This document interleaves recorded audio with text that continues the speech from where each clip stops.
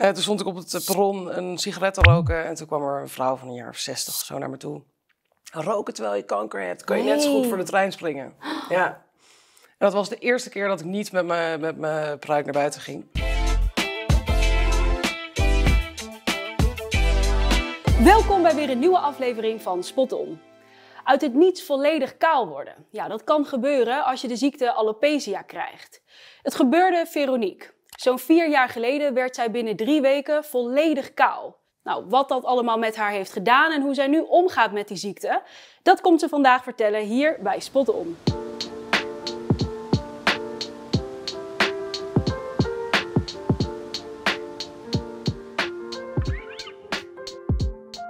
Veronique, welkom. Ontzettend fijn eh, dat je er vandaag bent en je verhaal wil delen. Eh, jij hebt alopecia. Even voor de mensen die dat misschien niet weten, wat is dat nou eigenlijk? Het is een auto-immuunziekte. eh, wat eigenlijk betekent dat je lijf je haar afstoot. En dat is eigenlijk het enige wat het is. Ja, en wanneer is dat bij jou begonnen? Eh 4,5 jaar geleden. Ja, dus het is toen binnen 2,5 week was 75, 80 procent van mijn haar weg. Ja. En toen heb ik er uiteindelijk zelf voor, voor gekozen om de rest er ook af te halen. Ja, Maar binnen 2,5 week eh, was het was weg. klaar. En daarna is van alles weer gegroeid en is het in koeienvlekken een soort van teruggekomen. Ja. En nu zijn het allemaal gezellige patroontjes.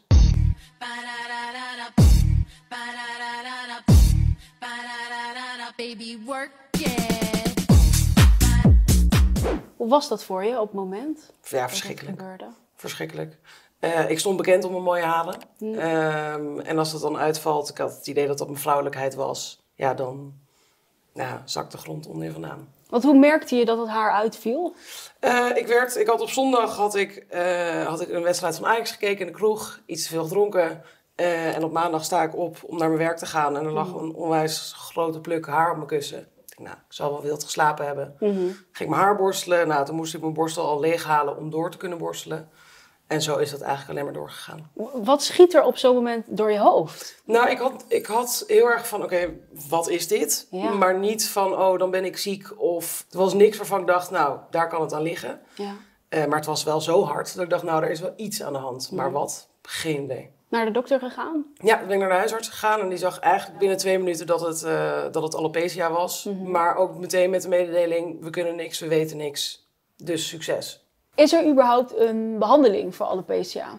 Niet eentje die bewezen is dat het werkt. Ehm, ze hebben wel iets van medicatie wat mensen die een nieuwe nier hebben gekregen ook gebruiken. Dus het is best wel pittig spul. Maar het is wel dat je heel erg ziet is dat als je ermee stopt, dan valt het ook weer uit. En ik denk daarbij, ja, ga ik mezelf een soort van ziek maken door dit te nemen. Terwijl ik me niet ziek voel en eigenlijk het enige wat er aan de hand is dat mijn haar uitvalt. Nee, ga ik echt niet doen. Want, want weet je waarom jij een van de pechvogels bent? Waarom dit is Ja, wel. gebeurd? Het is, ehm, het is een auto-immuunziekte. Ehm, en meestal, op het moment dat je één auto-immuunziekte hebt, dan heb je er meestal meer. Mhm. Dus ik heb de jackpot, ik heb eh, astma, dus mijn schildklier doet het niet, Mm. eh hooikoorts, eczeem en dus alopecia. Ehm, en meestal zie je het dus in combinatie met. Dus waarschijnlijk heeft iets Getriggerd. getriggerd. Eh, maar het kan bijvoorbeeld komen door stress, trauma, zwangerschap. eh, Of door een van de andere auto-immuunziektes. Eh, maar het grappige is om te zien is dat op het moment dat de ene actief is... Mhm. Dus als mijn haar uitvalt, dan is mijn alopecia actief. Dan heb ik geen last van mijn eczeem. Oké, Dus er, het is heel... Wisselt je lichaam kan af. het, niet, kan het niet aan om al die, ja. al die eh, immuunziektes, zeg maar, tegelijkertijd aan te pakken. ja. Denk je dat het ooit nog terugkomt, je haar? Geen idee. Hoop En- je het? hoop is eigenlijk uitgestelde teleurstelling. En hoop is voor alopecia echt het allerslechtste wat je kan hebben. Want je weet niet wat er gebeurt. Nee. En de kans is groter dat het wegblijft dan dat het terugkomt. Listen to me now.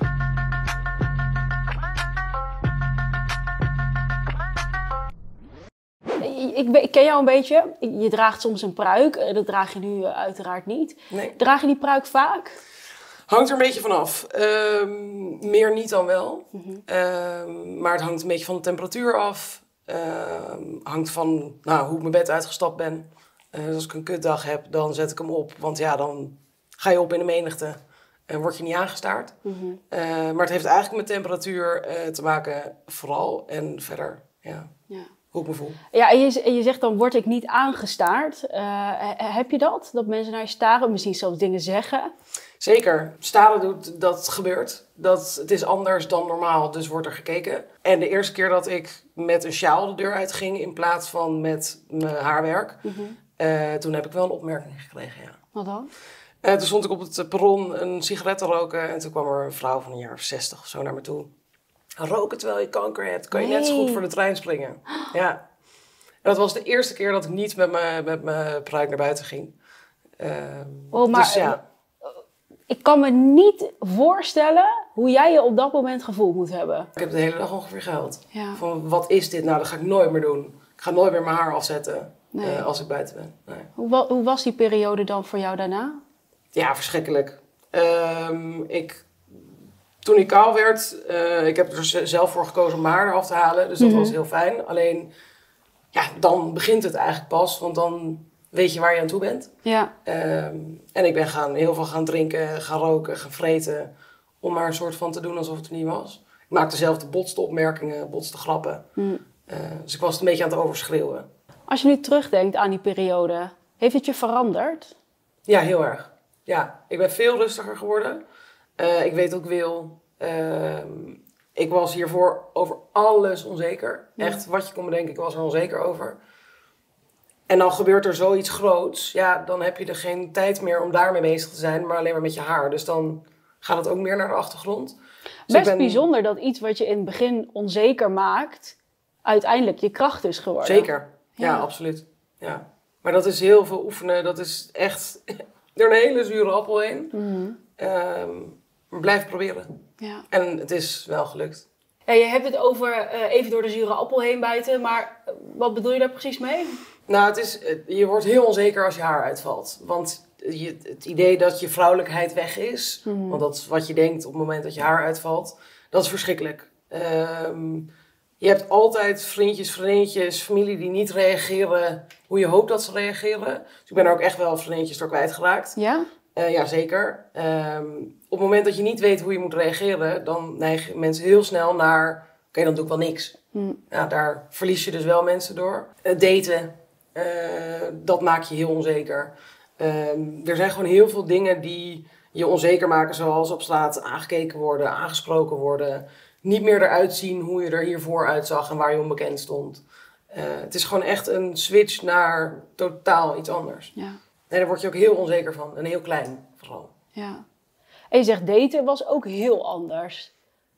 Ja, ik heb Hoe is er ook dat wel... anders geworden? Nou, ik ben vrij snel wel gaan daten. Eh, dus datingsapps heb ik altijd wel foto's nog steeds met haar. Oh ja, oké. Eh, maar ik heb wel, ik vertel het altijd op de eerste date. En ik denk, ja, het voelt voor mij als liegen als ik dat niet doe. ja. Ehm, Hoe maar- reageren die mensen daarop? Want ik kan me voorstellen als jij zegt, hé, hey, hier ben ik, maar ik heb geen haar. nou ja, dat, eh, ik zou er een paar bloemetje moeten sturen achteraf. Maar dus ja, en sommigen hebben gereageerd met, ik kan niet daten met een chick die kaal is. Of de Oh. Dat lijkt associatie me ook heel met... pijnlijk om te Ja, maar ik snap ook, van sommigen snap ik het. Op het moment dat je een moeder hebt verloren aan bijvoorbeeld kanker. Hmm. En die was op het einde van zijn kaal. Dan snap ik dat je de associatie daarmee legt. Ja, En dat het heftig is en dat er dingen terugkomen. Ja, dus dat snap ik wel. ja, Maar als je denkt, ja, mijn vrienden gaan het eh, raar vinden. Ja, dan denk ik, dan ben je gewoon een eikel. ja. En ondanks dat je het snapt, is het misschien toch niet helemaal leuk om te horen. Natuurlijk niet. Nee. Nee, het heeft elke keer wel maanden tussen gezeten voordat ik dan weer op date ging. Weer Ja, op date. ja. Maar nu merk ik daar heel erg in de afgelopen, het afgelopen jaar. Ik, ben nu, ik heb nu zoveel zelfvertrouwen. Dat straal je uit. Mm. Het maakt helemaal niet uit. Joh. I look like these. I look like these. I look like these. I look like these. I look like these.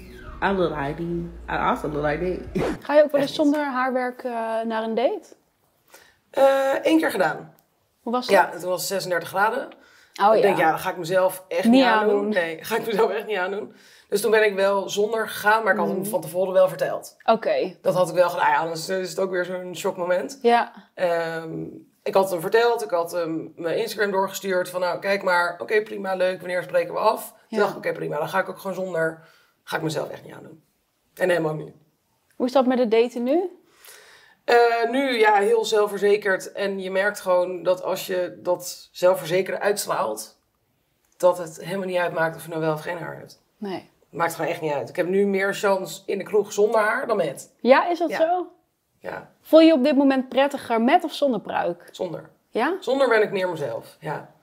Maar dus op dagen zoals iedereen die heeft, van ik heb een puist op mijn voorhoofd of ik stap gewoon niet lekker mijn bed uit, dan zet ik hem op.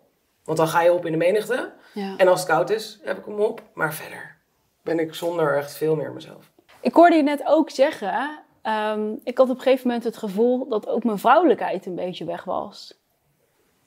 Dat lijkt me iets heel groots wat ineens wegvalt. Ja, gigantisch. Ja, dat is echt heel groot. En dat is ook niet iets wat opeens weggaat door een gedachte om te zetten. Of Nee. Dat werkt niet. Dus ik ben op zoek gegaan naar, oké, wat als ik kaal ga, hoe ga ik dan kaal? Ja. Dus qua kleding, als ik kaal ga, is het veel vrouwelijker dan als ik met haar ga. Dan kan het een veel stoerdere outfit zijn. Maar als ik dat zonder haar doe, zie ik eruit als een hooligan. Dat gaan we ook niet doen. Ik ben een keer, een paar keer van achter aangesproken met meneer mag ik er langs. Oh, dat was toen ik geen oorbellen in had en een stoere outfit. Ja. Dus dat zijn wel allemaal momenten waardoor je meer gaat zoeken naar... oké, hoe kan ik die vrouwelijkheid terugvinden? Dus ik ga bijna nooit meer kaal zonder, zonder oorbellen. Is jouw kijk op schoonheid veranderd door je alopecia? Zeker, 100%. Ik, ehm, als ik het op mezelf betrek, dan eh, was ik me altijd aan het vergelijken met iedereen. Mhm. Maar je ziet niet elke vrouw kaal over straat lopen, dus je kan je niet echt meer vergelijken. Mhm. En ik kijk nu heel erg naar uitstraling van iemand. Je kan nog zo knap zijn, maar echt een grafbek hebben. Of eh, er niet, niet lekker in zitten. Ehm, daar word je niet knapper van. Maar iemand die misschien iets minder knap is, in het ideaal plaatje, maar wel met een super goede uitstraling, ja, dan vind ik je fantastisch mooi. Dus het is heel erg veranderd. Ja. Ja. En was dan het veranderen van jouw kijk op schoonheid het moeilijkste ehm, ja, aan het hebben van alopecia? ja, dat denk ik wel. Ik stond vroeger bekend om een super mooie volle bos haar. Eh, en ik dacht, dat, dat ben ik. Daar, daar leen ik mijn identi- identiteit aan. En Ja. als dat verandert, dan is dat super lastig. En op het moment dat je mensen tegenkomt die je al heel lang kent op straat, maar ze herkennen je niet. Hm. Dat soort dingen zijn wel heel lastig. En, Ja. ja. dus dat heeft wel heel veel gedaan. Dus je bent echt eigenlijk een stukje identiteit verloren. Toen zeker, ja. Ja. Maar ik heb wel weer een nieuwe erbij gepakt. Dus die was weg, maar ik heb er wel weer een nieuwe bij. Wat is nou het grootste verschil tussen de Veronique voor de alopecia en de Veronique erna? Ik weet wat ik wil.